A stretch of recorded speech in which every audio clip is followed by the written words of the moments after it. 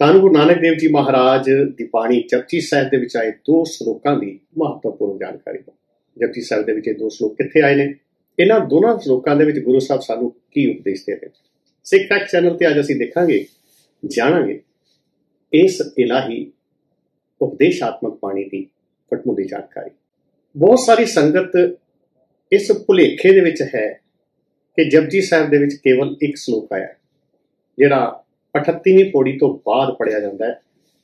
ਬੜਾ ਕਾਮਨ ਹੈ ਔਰ ਹਰ ਇੱਕ ਦੀਵਾਨ ਦੀ ਸੰਪੂਰਨਤਾ ਤੋਂ ਬਾਅਦ ਇਹ ਸ਼ਬਦ ਪੜਿਆ ਜਾਂਦਾ ਹੈ।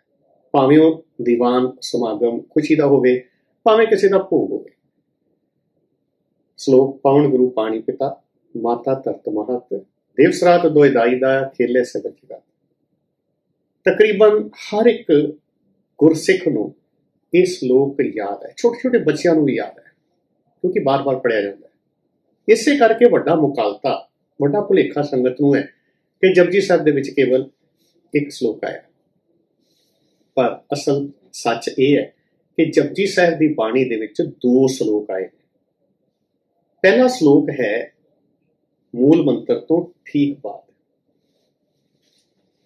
ਜਪ ਟਾਈਟਲ ਹੈ ਔਰ ਉਸ ਟਾਈਟਲ ਦੇ ਥੱਲੇ ਪਹਿਲਾ ਸ਼ਲੋਕ ਆਰੰਭ ਹੁੰਦਾ ਹੈ। ਮੂਲ ਮੰਤਰ ਗੁਰਪ੍ਰਸਾਦ ਤੱਕ ਹੈ ਪਰ ਭੁਲੇਖਾ ਖਾ ਕੇ ਬਹੁਤ ਸਾਰੀਆਂ ਸੰਗਤਾਂ ਸ਼ਲੋਕ ਨੂੰ ਨਾਲ ਜੋੜ ਕੇ ਇੱਥੇ ਤੱਕ ਮੂਲ ਮੰਤਰ ਬੋਲਦੀਆਂ ਨੇ ਜਾਂ ਇਦਾਂ ਕੋ ਕਿ ਅੱਗੇ ਵੀ ਦੱਸਦੀਆਂ ਨੇ ਕਿ ਮੂਲ ਮੰਤਰ ਇੱਥੇ ਤੱਕ ਹੈ। ਪਰ ਵਿਦਵਾਨਾਂ ਅਨੁਸਾਰ ਮੂਲ ਮੰਤਰ ਗੁਰਪ੍ਰਸਾਦ ਤੱਕ ਹੈ। ਉਹਦੇ ਬਾਅਦ ਹੈ ਇਸ ਬਾਣੀ ਦਾ ਟਾਈਟਲ। ਤੁਸੀਂ ਧਿਆਨ ਨਾਲ ਦੇਖੋਗੇ ਨਾ, ਜਪ ਜਿਹੜਾ ਸ਼ਬਦ ਹੈ, ਟਾਈਟਲ ਹੈ, ਇਹ ਲਿਖਿਆ ਇਹਦੇ ਅੱਗੇ ਵੀ ਦੋ ਡੰਡੀਆਂ ਪਈਆਂ ਹੋਈਆਂ ਨੇ ਔਰ ਪਿੱਛੇ ਵੀ ਦੋ ਡੰਡੀਆਂ ਪਈਆਂ ਹੋਈਆਂ ਨੇ। ਇਹ ਜਿਹੜੀਆਂ ਦੋ ਡੰਡੀਆਂ ਨੇ ਜਪ ਦੇ ਅੱਗੇ ਔਰ ਪਿੱਛੇ ਸਪੈਸੀਫਿਕ ਇਹਦੇ ਵਿਚਕਾਰ ਇਸ ਸ਼ਬਦ ਨੂੰ ਰੱਖਿਆ ਗਿਆ ਹੈ। ਇਹ ਟਾਈਟਲ ਹੈ ਬਾਣੀ ਦਾ। ਧੰਨ ਗੁਰੂ ਨਾਨਕ ਦੇਵ ਜੀ ਮਹਾਰਾਜ ਨੇ ਕਿਹਾ ਕਿ ਉਹ ਅਕਾਲ ਪੁਰਖ ਪਰਮਾਤਮਾ ਜਿਹਦੀ ਤਸਵੀਰ ਸ਼ਬਦਾਂ ਰਾਹੀਂ ਉਹਨਾਂ ਨੇ ਬਿਆਨ ਕੀਤੀ, ਇੱਕ ਓੰਕਾਰ ਤੋਂ ਲੈ ਕੇ ਗੁਰਪ੍ਰਸਾਦ ਤੱਕ ਉਸ ਨੂੰ ਜਪ ਭਾਵ ਉਸ ਦਾ ਸਿਮਰਨ ਕਰ। ਹੁਣ ਅੱਗੇ ਪਹਿਲੇ ਸ਼ਲੋਕ ਰਾਹੀਂ ਗੁਰੂ ਸਾਹਿਬ ਨੇ ਇਹ ਦੱਸਿਆ ਕਿ ਜਪਣਾ ਕਿਵੇਂ ਹੈ? ਕਿਸ ਨੂੰ ਜਪਣਾ ਹੈ? ਗੁਰੂ ਸਾਹਿਬ ਕਹਿੰਦੇ ਨੇ ਆਦ ਸੱਚ, ਜੁਗਾਦ ਸੱਚ, ਹੈ ਭੀ ਸੱਚ, ਨਾਨਕ ਹੋਸੀ ਭੀ ਸੱਚ। ਤੇ ਇਹ ਪਹਿਲਾ ਸ਼ਲੋਕ ਹੈ। ਗੁਰੂ ਸਾਹਿਬ ਕਹਿੰਦੇ ਨੇ ਕਿ ਉਹ ਪ੍ਰਮਾਤਮਾ ਜਿਹੜਾ ਇਸ ਸੰਸਾਰ, ਇਸ ਸ੍ਰਿਸ਼ਟੀ ਤੋਂ ਪਹਿਲਾਂ ਦਾ ਹੈ। ਜੁਗਾਂ ਤੋਂ ਸੱਚ ਹੈ। ਸੱਚ ਦਾ ਭਾਵ ਕਿ ਹਮੇਸ਼ਾ ਰਹਿਣ ਵਾਲਾ। ਉਹ ਕਦੇ ਨਹੀਂ ਮੁੱਕਦਾ। ਜਿਹੜੇ ਸੰਸਾਰ ਦੇ ਜੀਵ ਨੇ, ਉਹ ਪੈਦਾ ਹੁੰਦੇ ਨੇ, ਖਤਮ ਹੁੰਦੇ ਨੇ, ਪ੍ਰਕਿਰਤੀ ਪੈਦਾ ਹੁੰਦੀ ਹੈ, ਖਤਮ ਹੁੰਦੀ ਹੈ, ਪਰ ਪਰਮਾਤਮਾ ਉਹ ਕਦੇ ਨਹੀਂ ਮੁਕੇਗਾ। ਉਹ ਸੱਚ ਹੈ, ਸਦੀਵੀ ਹੈ। ਸਤਗੁਰ ਮੇਰਾ ਸਦਾ ਸਦਾ ਨਾ ਆਵੇ, ਨਾ ਜਾਏ। ਉਹ ਅਟਲ ਹੈ। ਗੁਰੂ ਸਾਹਿਬ ਕਹਿੰਦੇ ਨੇ ਕਿ ਉਹ ਪਰਮਾਤਮਾ, ਇਸ ਪਹਿਲੇ ਸ਼ਲੋਕ ਦੇ ਵਿੱਚ ਗੁਰੂ ਸਾਹਿਬ ਉਪਦੇਸ਼ ਕਰਦੇ ਨੇ ਕਿ ਜੋ ਆਦ ਤੋਂ ਸ਼ੁਰੂ ਤੋਂ ਸੱਚ ਹੈ, ਹਮੇਸ਼ਾ ਰਹਿਣ ਵਾਲਾ ਹੈ। ਜੁਗਾਦ ਸੱਚ ਹਮੇਸ਼ਾ ਹੀ ਜੁਗਾਂ ਤੱਕ ਰਹੇਗਾ, ਜੁਗਾਂ ਤੋਂ ਹੈ।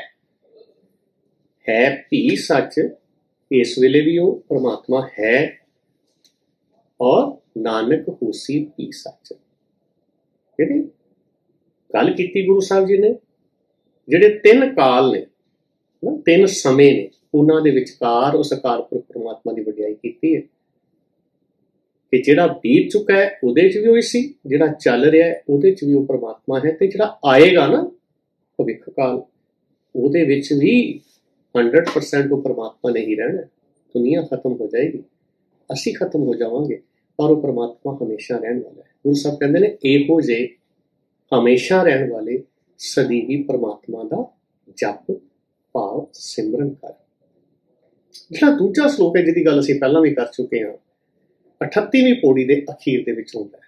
ਗੁਰੂ ਸਾਹਿਬ ਨੇ ਇਸ ਸ਼ਲੋਕ ਦੇ ਵਿੱਚ ਉਸ ਅਕਾਲ ਪੁਰਖ ਪਰਮਾਤਮਾ ਦੀ ਵਡਿਆਈ ਕਰਦੇ ਆ ਸ੍ਰਿਸ਼ਟੀ ਦੀ ਇਸ ਪਰਮਾਤਮਾ ਦੀ ਬਣਾਈ ਹੋਈ ਸ੍ਰਿਸ਼ਟੀ ਦੇ ਵਿੱਚ, ਕਿਉਂਕਿ ਉਹ ਪਰਮਾਤਮਾ ਇਸ ਸ੍ਰਿਸ਼ਟੀ ਦੇ ਵਿੱਚ ਵਸਦਾ ਹੈ।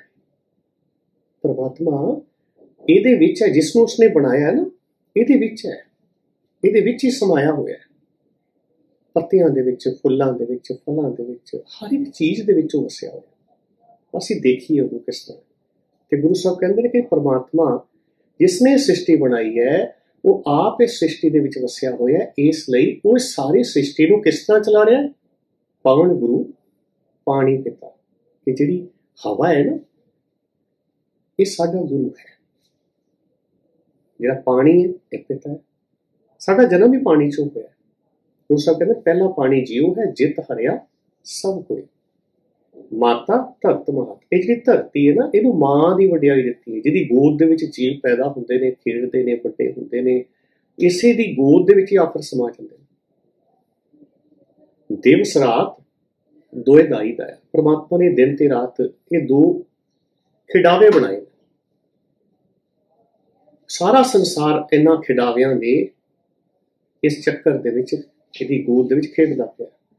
ਖੇਲ ਹੈ ਸਗਲ ਜਗਤ ਸੰਸਾਰ ਇਸ ਸ੍ਰਿਸ਼ਟੀ ਦੇ ਵਿੱਚ ਸਾਰੇ ਜੀਵ ਦਿਨ ਰਾਤ ਕੋਈ ਨਾ ਕੋਈ ਕੰਮ ਕਰ ਰਹੇ ਨੇ, ਖੇਡ ਰਹੇ ਨੇ। ਪਰਮਾਤਮਾ ਦੀ ਬਣਾਈ ਹੋਈ ਇਸ ਖੇਡ ਦੇ ਵਿੱਚ। ਚੰਗਿਆਈਆਂ ਬੁਰੀਆਈਆਂ ਵਾਚੇ ਧਰਮ ਫਤੂ ਉਹ ਕੀ ਚੰਗਾ ਕਰ ਰਹੇ ਨੇ, ਕੀ ਮਾੜਾ ਕਰ ਰਹੇ ਨੇ, ਇਹ ਸਭ ਦਾ ਹਿਸਾਬ ਕਿਤਾਬ ਹੋ ਰਿਹਾ। ਤੇ ਲਿਖਾ ਹੋ ਰਿਹਾ। ਉਸ ਪਰਮਾਤਮਾ ਦੇ ਦਰਬਾਰ ਦੇ ਵਿੱਚ ਇਹ ਸਾਰਾ ਅਕਾਊਂਟ ਬਣ ਰਿਹਾ ਔਰ ਉੱਥੇ ਇਹ ਸਾਰਾ ਹਿਸਾਬ ਕਿਤਾਬ ਹੋਏਗਾ। ਕਰਮੀ ਆਪੋ ਆਪਣੀ ਕੇ ਨੇੜੇ ਕੇ ਦੂਰ। ਤੇ ਗੁਰੂ ਸਾਹਿਬ ਕਹਿੰਦੇ ਨੇ ਕਿ ਸਾਡੇ ਕੀਤੇ ਹੋਏ ਕਰਮ ਜਿਹੜੇ ਨੇ ਨਾ, ਇਹ ਸਾਨੂੰ ਪਰਮਾਤਮਾ ਦੇ ਨੇੜੇ ਲੈ ਜਾਣਗੇ। ਇਹੀ ਕਰਮ ਸਾਡੇ ਨੂੰ ਪਰਮਾਤਮਾ ਤੋਂ ਦੂਰ ਕਰ ਦੇਣਗੇ। ਤੇ ਇਸ ਕਰਕੇ ਜਿਹੜੇ ਚੰਗੇ ਕਰਮ ਨੇ, ਉਹ ਪਰਮਾਤਮਾ ਦੇ ਨੇੜੇ ਜਾਣਗੇ। ਜਿੰਨੀ ਨਾਮ ਤੇ ਆਇਆ, ਗਏ ਮੁਸਕਤ ਦਾ ਤੇ ਗੁਰੂ ਸਾਹਿਬ ਕਹਿੰਦੇ ਨੇ, ਜਿਨ੍ਹਾਂ ਨੇ ਪਰਮਾਤਮਾ ਦੇ ਇਸ ਇਲਾਹੀ ਨਾਮ ਨੂੰ ਜਪਿਆ, ਉਹਦੀ ਸਿਫਤ ਕੀਤੀ, ਵਡਿਆਈ ਕੀਤੀ, ਚੰਗੇ ਕੰਮ ਕੀਤੇ, ਉਹਨਾਂ ਦਾ ਜੀਵਨ ਇਹ ਜਨਮ ਸਫਲ ਹੋ ਗਿਆ। ਨਾਨਕ ਤੇ ਮੁਖ ਉਚਲੇ ਕੀਤੀ ਛੁੱਟੀ ਨਾਲ। ਅਖੀਰ ਦੇ ਵਿੱਚ ਨਾਨਕ ਸ਼ਬਦ ਦੀ ਵਰਤੋਂ ਕਰਦੇ ਹਨ ਗੁਰੂ ਸਾਹਿਬ ਕਹਿੰਦੇ ਨੇ ਕਿ ਇਹੋ ਜੇ ਨਾਮ ਜਪਣ ਵਾਲੇ ਜਿਹੜੇ ਨੇ ਨਾ, ਉਹਨਾਂ ਦੇ ਮੁਖ ਉਚਲੇ ਆ। ਉਹਨਾਂ ਦੀ ਤਾਰੀਫ ਹੁੰਦੀ ਹੈ ਉਹਨਾਂ ਦੀ ਸਿਫਤ ਹੁੰਦੀ ਹੈ ਉਹ ਅਸਲ ਚ ਸੋਹਣੇ ਨੇ। ਕਿ ਉਸ ਪਰਮਾਤਮਾ ਦੇ ਦਰਬਾਰ ਦੇ ਵਿੱਚ ਵੀ ਉਹ ਸੋਹਣੇ ਨੇ ਉਚਲੇ ਨੇ। ਤੇ ਉਹਨਾਂ ਦੀ ਫਿਰ ਜਨਮ ਮਰਨ ਦੇ ਚੱਕਰ ਤੋਂ ਛੁੱਟੀ ਹੋ ਜਾਂਦੀ ਹੈ, ਮੁਕਤੀ ਹੋ ਜਾਂਦੀ ਹੈ। ਸੰਗਤ ਜੀ, ਇਹ ਦੋ ਸ਼ਲੋਕ ਨੇ ਜਪਜੀ ਸਾਹਿਬ ਦੇ ਵਿੱਚ ਆਏ ਹੋਏ ਔਰ ਇਹਨਾਂ ਦੋਨਾਂ ਸ਼ਲੋਕਾਂ ਦੇ ਸੰਦਰਭ ਦੇ ਵਿੱਚ ਗੁਰਬਾਣੀ ਦੇ ਸਿਧਾਂਤ ਨੂੰ ਸਮਝੀਏ ਕਿ ਇੱਥੇ ਪੂਜਾ ਕੇਵਲ ਨਾਮ ਦੀ ਹੈ। ਪੂਜਾ ਕੀਚੈ ਨਾਮ ਤੇ ਆਈ ਹੈ। ਸਿਰਫ ਮੱਥਾ ਟੇਕਣ ਨਾਲ ਦਾਨ ਪੁੰਨ ਕਰਨ ਨਾਲ, ਉਪਦੇਸ਼ ਕਰਨ ਨਾਲ, ਤੀਰਥਾਂ ਤੇ ਇਸ਼ਨਾਨ ਕਰਨ ਨਾਲ ਲਾਭ ਨਹੀਂ ਹੋਣਾ। ਗੁਰੂ ਸਾਹਿਬ ਨੇ ਇਹ ਦ੍ਰਿੜ ਕਰਾਇਆ ਕਿ ਭਾਈ, ਜੇ ਪਰਮਾਤਮਾ ਦੇ ਨੇੜੇ ਜਾਣਾ ਤਾਂ ਤੈਨੂੰ ਸਿਮਰਨ ਕਰਨਾ ਪਏਗਾ, ਨਾਮ ਜਪਣਾ ਪਏਗਾ, ਉਸ ਪਰਮਾਤਮਾ ਦਾ ਜੋ ਹਮੇਸ਼ਾ ਰਹਿਣ ਵਾਲਾ ਹੈ, ਜਿਹਦੇ ਵਰਗਾ ਕੋਈ ਹੋਰ ਨਹੀਂ। ਗੁਰੂ ਸਾਹਿਬ ਕਿਰਪਾ ਕਰਨ, ਗੁਰਬਾਣੀ ਤੇ ਇਸ ਸਿਧਾਂਤ ਨੂੰ ਅਸੀਂ ਸਮਝੀਏ। ਕਿਉਂਕਿ ਜਿਹੜਾ ਮੂਲ ਮੰਤਰ ਹੈ ਨਾ, ਜਿਹਦੀ ਅਸੀਂ ਪਹਿਲਾਂ ਵੀ ਗੱਲ ਕੀਤੀ ਹੈ ਇਹ ਸ਼੍ਰੀ ਗੁਰੂ ਗ੍ਰੰਥ ਸਾਹਿਬ ਮਹਾਰਾਜ ਦੇ ਵਿੱਚ 33 ਵਾਰ ਸੰਪੂਰਨ ਰੂਪ ਦੇ ਵਿੱਚ ਆਇਆ। ਇੱਕ ਓੰਕਾਰ ਤੋਂ ਗੁਰਪ੍ਰਸਾਦ ਤੱਕ। ਇਸ ਤੋਂ ਇਲਾਵਾ ਇਹ ਦੋ ਰੂਪਾਂ ਦੇ ਵਿੱਚ ਹੋਰ ਆਇਆ। ਸੋ ਦੀ ਰਿਪੀਟ ਕਰ ਰਹੇ ਇਸ ਤੋਂ ਇਲਾਵਾ ਇਹ ਹੋਰ ਰੂਪਾਂ ਦੇ ਵਿੱਚ ਵੀ ਆਇਆ, ਜਿਹਦੇ ਵਿੱਚ ਇੱਕ ਓੰਕਾਰ ਸਤਿਗੁਰ ਪ੍ਰਸਾਦ ਇੱਕ ਓੰਕਾਰ ਸਤਿਗੁਰ ਪ੍ਰਸਾਦ ਔਰ ਦੂਸਰਾ ਹੈਗਾ ਇੱਕ ਓੰਕਾਰ ਸਤਨਾਮ ਕਰਤਾ ਪੁਰਖ ਗੁਰ ਪ੍ਰਸਾਦ। ਤੇ ਇਸ ਤਰ੍ਹਾਂ ਇਹ ਵੱਖ-ਵੱਖ ਰੂਪਾਂ ਦੇ ਵਿੱਚ ਮੂਲ ਮੰਤਰ ਆਇਆ, ਇਹ ਹੈ ਮੰਗਲਾਚਰਨ ਪਰ ਦੋ ਸ਼ਲੋਕ ਜਿਹੜੇ ਜਪਜੀ ਸਾਹਿਬ ਦੀ ਬਾਣੀ ਦੇ ਵਿੱਚ ਆਏ ਨੇ, ਇਹਨਾਂ ਦੇ ਸਿਧਾਂਤ ਨੂੰ, ਉਪਦੇਸ਼ ਨੂੰ ਅਸੀਂ ਸਮਝੀਏ, ਕਿਉਂਕਿ ਇਹਨਾਂ ਨੂੰ ਸਮਝੇ ਬਿਨਾ ਗੁਰਬਾਣੀ ਨੂੰ, ਗੁਰਮਤ ਨੂੰ ਔਰ ਗੁਰੂ ਦੇ ਸਿਧਾਂਤ ਨੂੰ ਸਮਝਣਾ ਨਾਮੁਮਕਿਨ ਹੈ। ਗੁਰੂ ਸਾਹਿਬ ਕਿਰਪਾ ਕਰਨ, ਜਲਦੀ ਹੀ ਹੋਰ ਵੀਡੀਓ ਦੇ ਨਾਲ ਤੁਹਾਡੀ ਸੇਵਾ ਦੇ ਵਿੱਚ ਫਿਰ ਹਾਜ਼ਰ ਹੋਵਾਂਗੇ। ਤੁਸੀਂ ਦੇਖਦੇ ਰਹੋ Sikh pack channel, video like ਕਰਕੇ ਅੱਗੇ ਸ਼ੇਅਰ ਜ਼ਰੂਰ ਕਰਿਓ, ਤਾਂ ਕਿ ਇਹ ਜਾਣਕਾਰੀ ਸਾਰਿਆਂ ਤੱਕ ਪਹੁੰਚ ਸਕੇ। ਹੋਈਆਂ ਭੁੱਲਾਂ ਦੀ ਖਿਮਾ ਕਰੋ, ਕਿਰਪਾ ਫਤਿਹ ਜਾਓ ਵਾਹਿਗੁਰੂ ਜੀ ਕਾ ਖਾਲਸਾ, ਵਾਹਿਗੁਰੂ ਜੀ ਕੀ ਫਤਿਹ।